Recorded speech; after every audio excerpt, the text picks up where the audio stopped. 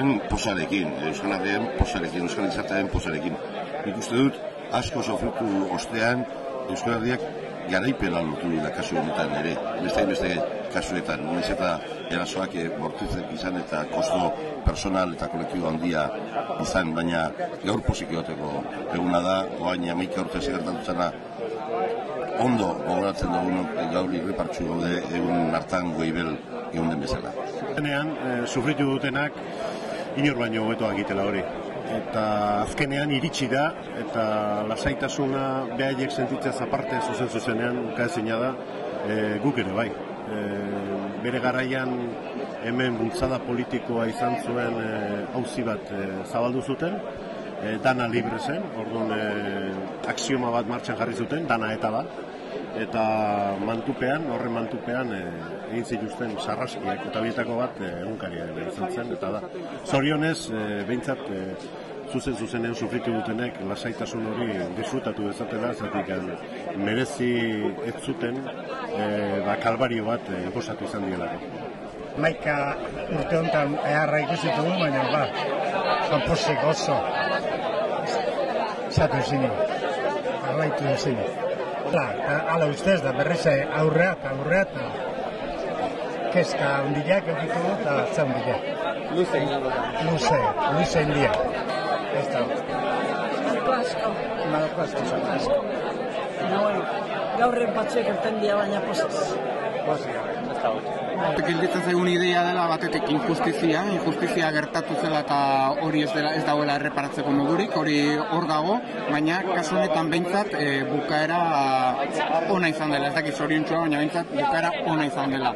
Osa txiki baden, nik esango nuke gure herri txikiaren historian hau gauza handi badela. E, mala hostia ikaragarri bat, e, historia hau nola lotxagarra izan den, eta, eta nola ere momentu atzutan e, Euskal Herrian ere olako duda batzu sortu ziren, momentu gogorraiek ere senditu nituen, e, baina egia da herriak azkenean erantzun zuela eta horri esker e, atera dela, ez? Eta ez dute Euskararen e, geroa, e, bai berriarena, e, eguneroko implikazioa zetorreko dela, eta dene sustengoa zetorreko dela, beraz, badugula nun lan egin. Di gozoa, ez da? E, sekula gertatu behar ez zuen aldarkeri bat gertatu zen, hitzen bat erabiltzearen, eta sekula gertatu behar ez zuena gertatu zenez, ba, bueno, azkenean ondoko zata, baina iritsi da bukaerara, eta gaur, gaur nik uste pozik egoteko eguna, pozik egotekoa, eta, bueno, ba, zorionak ematekoa, hau zuzen zuzenean nozitu duten guztiei, eta zorionak ematekoa, ba, bueno, azken batean euskal gizarte osoari, eta, bueno, kontu honi gaine oso gertutik eta oso horrietik e, urtetan e, jarraitu dioten guztiari. Zorionak esateko guna.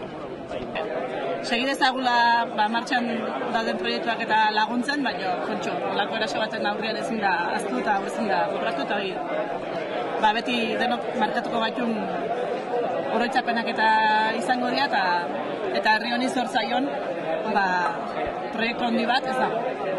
Hor motxilan gelditu den guztia motxilan dago, ez?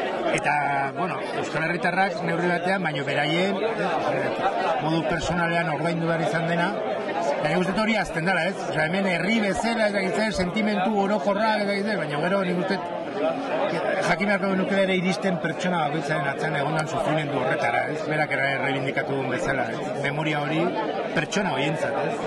Aurpegi, aurpegi eman duten pertsona entzat. Eta gero uste dut hori, oso nire horrekin geratzen da, memoria historiko horretan, egunkariarekin gertatu izan uste dut ezin dela ahaztu, ze ahazten dena gero aukera asko egotela berrirolakoa gertatzeko. Amorrua, eta ez dakit zer berberabili, baina bueno, gero ikusita zelan eman zitzaion buelta, zen bueno, herri hau bizibi dago, baina uste dut, bideragak ediri hau itzela izan zala, eta berriro ez gertatzeko neurri guztia jarri behar dela.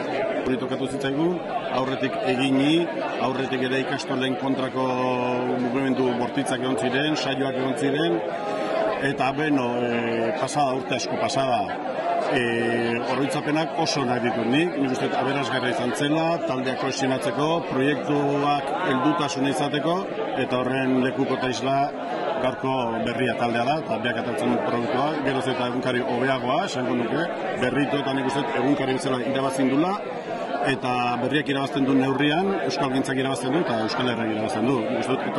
Etorkizuna badugula, eta hauzipetuei begiratuta, eta nahi partxiki ateratzen zait, badakit asko sufritu dutela, baina lehen esan dudana, aberasgarri izan da denontzat, eta sufrimendu hori baikortasunean bilakatu daila lan asko daukagula egiteko. Bueno, e, ze puntu arte justizia, justizia dan, ez? Eta ze puntu arte justizia indan, o ze puntu arte e, sortutako kalte guzti horiek, ba, rekuperatzen dian, ez? Eta zarantzo egitukoa, baina nik uste e, beti ona beratzea gustatzen zait, positiboki planteatzea gauzak, eta herri honek eman duen erantzuna honekin, eta azkeneko notizio honekin, eta aurra begira e, daukaun indarrarekin, ba, egitu gaitezen horrekin, eta eta aurrea. Eta zorionak, benetan, jende guzti honi, eta ni uste herri honek berriro ere ondo erantzun dula, erantzun behartzun dut gelditzen garela, joan esan duen gauza batekin, e, oroimenarekin. Ezin dugu asko ze gertatu den, berak esan duen bezala posi gaude, baina hau ezin dugu asko. Honelakorik errepikatu ez dadin, botikarik e, zenduen hau izela. Gogoan izatea ze gertatu den eta horretzea. Daki, kolako zeakin beti gelditzen dek eh, bat, baina behintzat hori, pakea, hortan egon dienak, bain esate dienak, Jose Maria Gamari, eta bain behintzat, arnaz hartuta, egin lasa, egin lasai lanata, bai, bai. Eta da, batetik, ba, oso pozik nagola, unkituta ere, bai, berriro sartzea toki ontara eta egoera hau ikusteak, bueno, ba, oroitzapen asko ekartzen ditu, baina era berean aserre nagola, ba, oraindik gauza asko falta direlako egiteko, bukatzeko, aitortza, erreparazioa inbestetan eh, esan diran hitzak eta egiteko falta direnak. E, aipatu da egun hauetan eginekoak eh, hor daudela, zalakan izan nahiko nuke bereziki e, gogoan. Eta ba orain e, epaitzera bidean eta justu espertzelatu berriak direnak ere, ba ezin